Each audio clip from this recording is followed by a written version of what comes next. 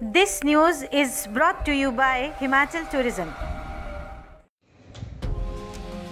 Bilaspur police ने NH 205 पर स्थित पशु अस्पताल के पास एक युवक से 4.39 ग्राम चिट्टा बरामद किया है जानकारी के अनुसार पुलिस दल गत रात्रि एनएच 205 पर स्थित पशु अस्पताल के पास गश्त पर था गश्त के दौरान वहाँ पर धौलरा मंदिर की ओर जाने वाली सड़क पर एक युवक पुलिस को देखकर घबरा गया और उसने अपनी जेब से एक पुड़िया निकालकर झाड़ियों में फेंक दी।